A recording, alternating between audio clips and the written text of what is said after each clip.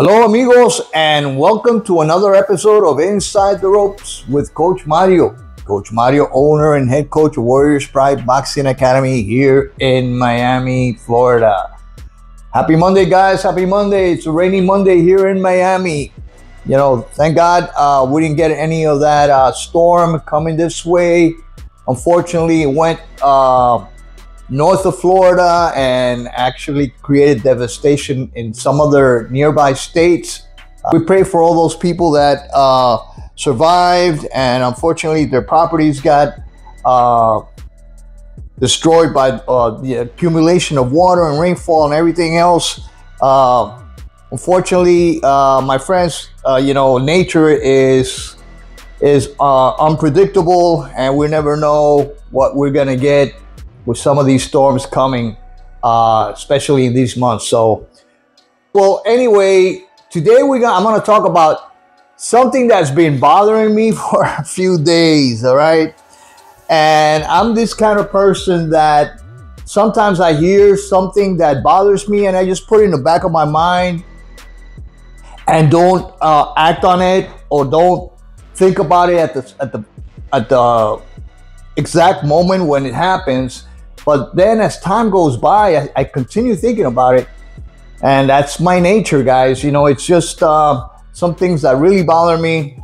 Um, and I just can't get them out of my mind. And I continue just thinking about it. And I got to actually tell somebody. And now I'm telling you guys uh, about a situation that happened during the fight between Edgar Berlanga and Canelo Alvarez. I've already spoken about uh, my uh, perspective on the fight, what happened, how I I uh, predicted the outcome, and just like everybody else, you know, we not too many people were was giving uh, Berlanga any shot of actually winning, but you know he displayed courage and displayed you know uh, that cria boricua that he has and, uh, you know, at the end of the fight, you know, he was humble enough just to say uh, to Canelo Alvarez that, you know, that, that he appreciated him giving the opportunity. He made a crap load of money and he's going to continue improving. Hopefully that's, that's going to happen. But uh, before the fight, Julio Cesar Chavez Sr. was interviewed by some of the the newscasters, the, the commentators there at the arena and was asked about, you know, um, was asked about Edgar Berlanga and what Edgar Berlanga has been saying about knocking out uh, Canelo Alvarez. I believe he was talking about the sixth round or something like that. And uh, Julio Cesar Chavez made some comments that have been kind of bothering me since that, that night. He has said this multiple times during his lifetime he continuously uh, makes this uh, statement about Puerto Rican fighters. And he's been doing this for many decades. He's been saying the same thing for many decades. And I want to get this right, guys. I want to set the record straight, all right? Well, what Julio Cesar Chavez said, and like I've been telling you, you know, sometimes I store things in the back of my mind and it keeps accumulating and then I got to talk about it. But Julio Cesar Chavez has been saying that Puerto Rican fighters talk a lot of shit. And that's what he said in this interview. He actually said it in Spanish. All right. And they were translating what he still doesn't speak English. This guy has been, you know, around, you know, uh, the English language so, so many years and he still needs somebody to translate, you know, uh, easy questions for him. He was asked again, and what do you think of Berlanga saying that uh, he's going to knock out Canelo Alvarez in sixth round? He goes, well, you know, uh, Puerto Ricans, you know Puerto Ricans are? Puerto Ricans uh, talk a lot of shit. And he said in Spanish, los puertorriqueños hablan mucha mierda. That's what he said. All right? And he started laughing. But I want to say something, not only about Julio Cesar Chavez, but about other Mexican champions that has not been spoken about. All right. So, you know, what fair is fair. What's good for the geese is good for the gander. So I'm gonna take this out there and say it. Not everybody, not every Mexican champion suffers from, for what I call chronic excuses syndrome. All right. What is chronic excuses syndrome? You might ask. I'm gonna tell you exactly what that means. All right. Julio Cesar Chavez himself, who says that Puerto Ricans talk a lot of shit, has been talking shit himself after he got totally beat by Frankie Randall, who was the biggest, uh, one huge upset. Frankie, the surgeon's uh, Randall. If you haven't seen that fight, you got to go check it out. He got beat. He got knocked down. He got completely uh, dismantled, completely dominated in that fight against Frankie Randall. All right. After the fight, when he was being interviewed, he had all types of excuses. No, I won, you know, this and that. He always has an excuse, Julio Cesar Chavez Sr., when he is defeated. He said the same thing after being defeated by Kostya Tszyu. Had all kinds of excuses after being, uh, you know, handed an ass whooping by the Australian Kostya Tszyu. And De La Hoya completely retired him. I know he fought afterwards, but you know, completely destroyed him 140 pounds. So he has a history of chronic excuses syndrome. Julio Cesar Chavez always has an excuse where he loses. Now, in my opinion, and I'm going to tell you how I think, I think fighters should be uh, humble enough to accept defeat just like um, Subriel Matias did after being defeated by, you know, Liam Paro, the Australian Liam Paro. He was, you know, humble enough to say, yeah, I lost, blah, blah, blah. And he actually said the new champion, when they were going to announce who the winner was going to be, just forecasting that he had lost. He had felt that he had lost. But you see some other Mexican champions and like I said before, I'm not accusing all Mexican champions of suffering from chronic excuses syndrome. All right? But a lot of them do. Canelo Alvarez not only suffers from chronic excuses syndrome, but is also living in an alternate world. He doesn't see reality as all of us do. And it seems that, uh, you know, uh, all his followers suffer from the same delusion. All right, he he suffers from that delusion of grandeur. Right, in his own mind, he think he's the greatest Mexican fighter of all time, and he says it himself. But Canelo Alvarez, not only is he always contradicting himself about who he's going to fight, who's he's, who he, he's not going to fight, uh, you know, you know about his opponents that actually merit fighting with him. He says, no, well, this this fighter uh, hasn't earned the right to fight with me because he hasn't fought anybody. Then he fights somebody Berlanga. Then he says, well, you know, I never fight Mexicans. And then he fights uh, Munguia and stuff like that. And not only does he suffer from chronic excuses syndrome, he also suffers for chronic contradicting syndrome, which he's always contradicting himself. All right. So you don't know what to believe. He has lost all credibility in the eyes of people that can actually think. So against when when Canelo fought against Triple G for the first time, he got totally dominated. He ran uh, on the, the, the last rounds. He started running away from Triple G, something that he had accused uh, Lara Erislandy Lara to do against him when Erislandy Lara is known as a boxer, you know, counter puncher, you know, a very technical fighter who actually, I believe, beat Canelo Alvarez when they faced each other. He had excuses afterwards. Well, I want to fight somebody that comes forward. I don't want to fight somebody that runs. He was running all night, the Cuban. That was Canelo Alvarez's statements. All right. And then after the fight, first fight with Triple G, he also made other comments like, he said, I think I was superior in the ring. I won at least seven or eight rounds. I was able to counterpunch and made Gennady wobble at least three times. If we fight again, it's up to the people. I'll feel frustrated over my draw. A draw that was a gift for Canelo Alvarez because, as you all know, Adalaide Byrd, the totally corrupt judge, the wife of the well known referee, you know, who shares the same last name, gave Canelo Alvarez a card, an unbelievable card that favored him 118 to 110. 118 points for Canelo Alvarez, 110 for Gennady Golovkin. You're seeing Golovkin win just a couple of rounds, maybe. All right? You can see his mother hysterical.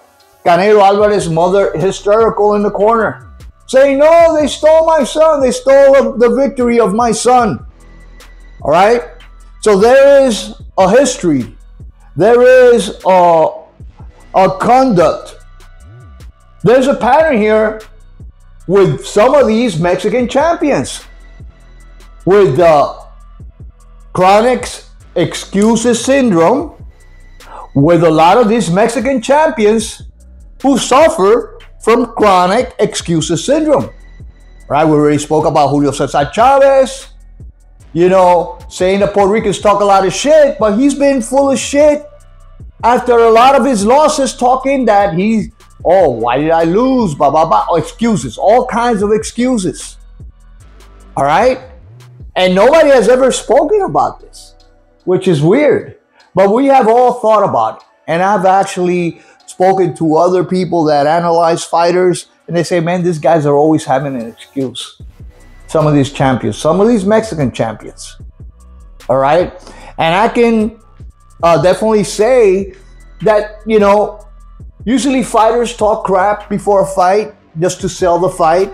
And that's what uh, some of these Puerto Rican uh, legends had done, like Macho Camacho and Wilfredo Gomez, and they lost. I mean, Wilfredo Gomez got completely destroyed. He went out in his shield, he showed the cria, and he talked a lot of shit because this guy has knocked out, had knocked out everybody before the fight. Salvador Sanchez was not given a, a shot by any professional expert, any expert out there that knew anything about boxing back in those days. You could hardly see anybody favoring Salvador Sanchez in that fight. All right? So when you have people like Julio Cesar Chavez continuously saying that Puerto Ricans talk a lot of shit, they don't look at themselves in the mirror. You also have other commentators from Mexico. You see Pro Box TV in Spanish. You know, these Mexican commentators. I believe they, there's this guy uh, they call uh, Bible of Boxing. And he, he said the same thing. Yeah, Puerto Ricans are parlanchines, they talk a lot, blah, blah, blah, and all this other stuff. But he doesn't see his own people, his own champions, who are also always full of excuses when they lose. So we already spoke about Julio Cesar Chavez and all his excuses after losing against Frankie Randall, Kostya Tszyu, Oscar de la Hoya. Canelo with his total, total uh, you know, delusional comments about he's the best, you know, contradicting himself continuously. All the excuses when he lost, when he, in my opinion, lost against Triple G and they, they awarded him a draw because of Adalaide Byrd's card. You know, all these contradictions. We already spoke about that. Now let's talk about somebody else somebody more recent. What about Pitbull Cruz talking all this shit, you know, who actually didn't want to shake Rayo Valenzuela's hand uh, at the face-off? You know, Rayo Valenzuela is a good kid. He, he's a humble kid. Refused to uh, shake the hand of Rayo Valenzuela. And after the fight, had all kinds of excuses. He made all these comments all right, what, what comments did he make? He said, Well, the crowd knows who won. The crowd knows who the real winner is. His father stormed out of the that stadium saying, "Oh, what a what a robbery! when it was clear to see that the most technical fighter, the fighter that dominated with footwork, with skills, with nice combinations was Rayo Valenzuela. Completely dominated a one-dimensional Pitbull Cruz. And what happened after the fight? Chronic excuses syndrome from another Mexican champion.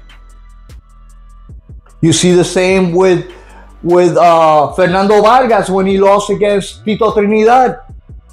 And so many other champions that are full of excuses after losing a fight. Be humble, guys. When you lose, you lose. You accept it. Berlanga accepted it. He didn't talk shit. He didn't say, oh, well, I think I won. And you have a lot of fighters, you know, American fighters that before the fight, you know, in order to sell the fight, they talk shit back and forth. You know, Caleb Plant did it. Uh, Mayweather did it. So many other, uh, Adrian Broner did it. You know, you have a lot of fighters like that. All right? But what about the other side? Those are accusing Puerto Ricans like Julio Cesar Chavez and some other Mexican commentators that's been gone, going on for years, consistently accusing Puerto Ricans of talking a lot of shit. And like I said before, guys, you know, on a previous episode when I compared the two countries, the rivalry between two countries, it's a, it's a, it's a rivalry that exists between two powerhouses of boxing. And I'm gonna tell you something. I love Mexican boxers. I love the way they fight, their aggressiveness. But you know, you gotta you gotta call it like you see it. I call it like I see it. And I criticize some of my people, and when I say my people are the fighters that I I like, when when they do something that I think is incorrect. All right? I'm old school, guys. I like fair game. You know, fair game is for both sides. I'm an impartial judge of character. And as you all know, this rivalry has been going on for decades. And I, like I said in my previous episode, when I compared the two two rivalries, the two countries, these two powerhouses of boxing, Mexico is 216 times bigger than Puerto Rico. Mexico has mul- multiple millions of more people. Mexico has a huge population versus Puerto Rico. Many more millions than Puerto Rico. Many more millions of people than in the small island of Puerto Rico.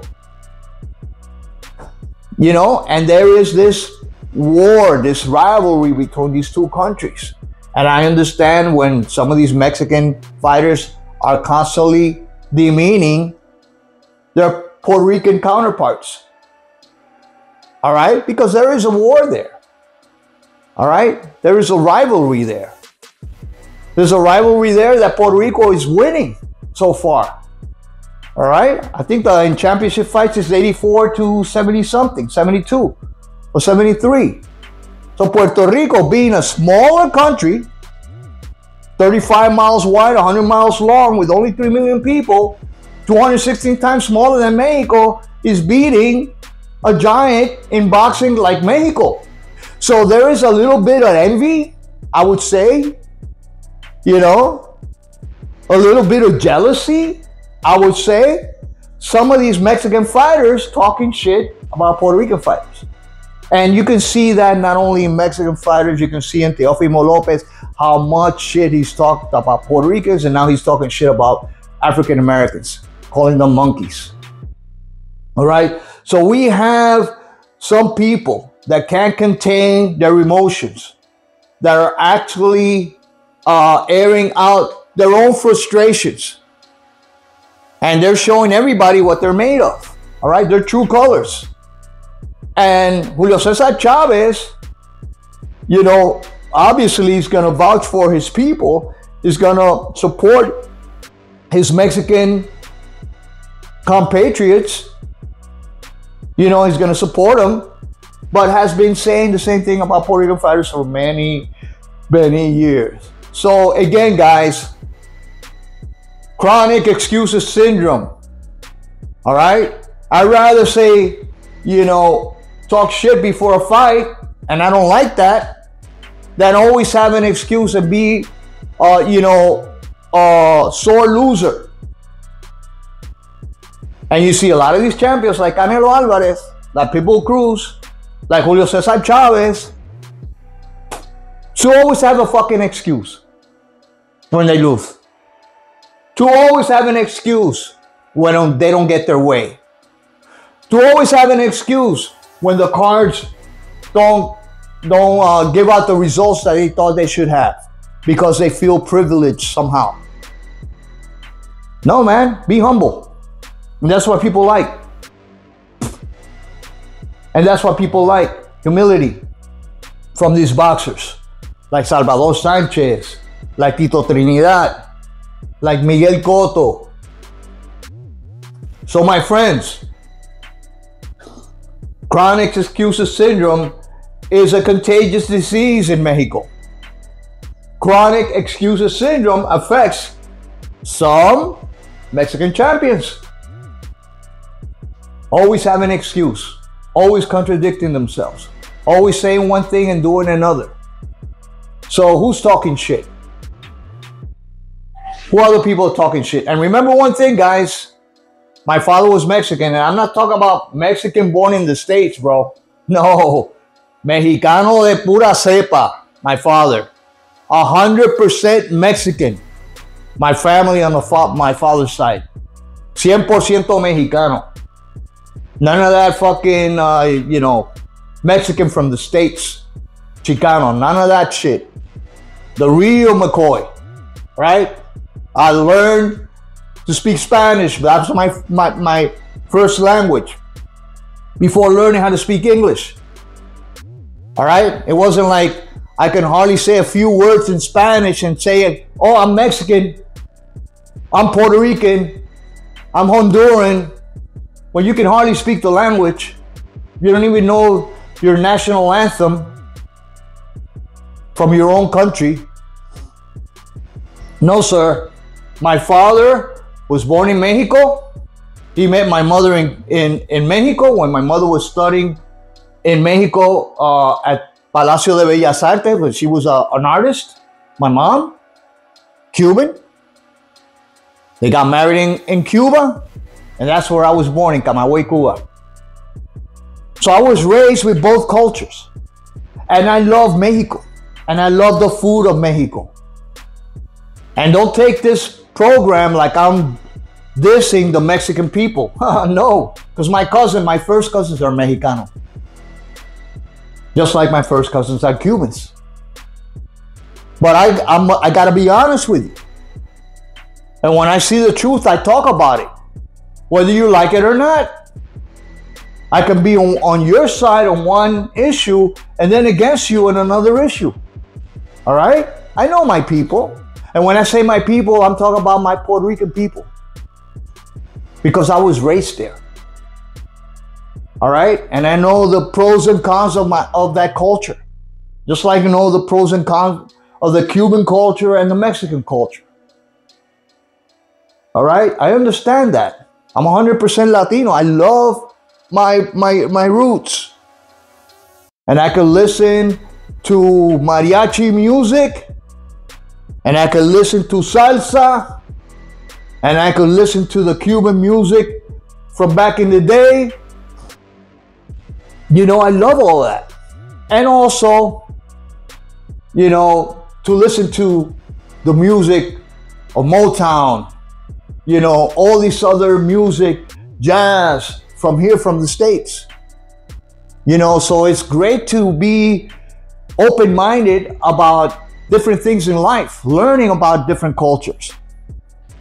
It is stupid to just stick to one culture, just to only know one culture.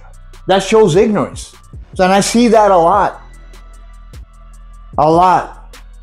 People that only know a little bit about their culture, but they don't know anything about anything else. I know a little bit, I wouldn't say a little bit, but I know a lot about the Mexican culture, Because I lived in Mexico for four years when I was a little kid. I went to school there, had friends there, my first cousins were there, you know, lived in Mexico. My father was 100% Mexicano. My abuela was from, from uh, Puebla, Mexico. My ancestors on the Mexican side fought in, uh, you know, Cinco de Mayo War. My abuelitas fought in some uh, on the revolution with my father on the back. All right, so I know the Mexican culture, I know the Cuban culture, I know everything we lost when communism came to the island. All right, so what I'm trying to tell you is I have no hatred against any of these cultures because I am part of those cultures. All right? But I call it like I see it before. And like I've been telling you, I call it like I see it. And when I see something that is uh, problematic or is a syndrome and it's repetitive and it shows us hatred, you know, and I understand it's a rivalry, but Julio Cesar Chavez has been talking shit for many years. And I admire the fighter. But he's always talking shit. Nobody has actually told him, hey man, who talks shit more than you?